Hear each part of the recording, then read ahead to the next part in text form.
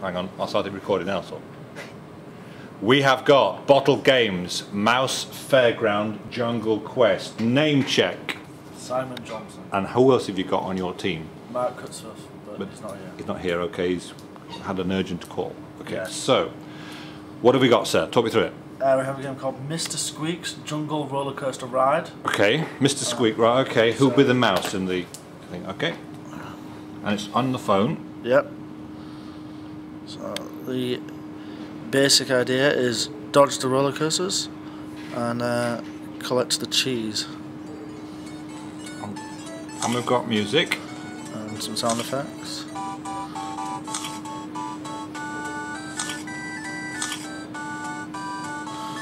And the game gets faster and more difficult.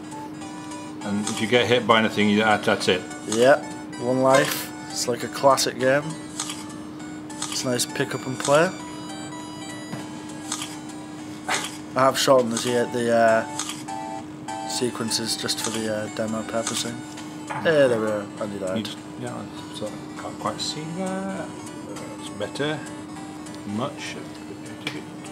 Over a bit. That's better. Yeah, I haven't bothered getting me it. That's fine, yeah. So you got full full menus, instructions, all that stuff. Yeah. Oh, that's nice stuff.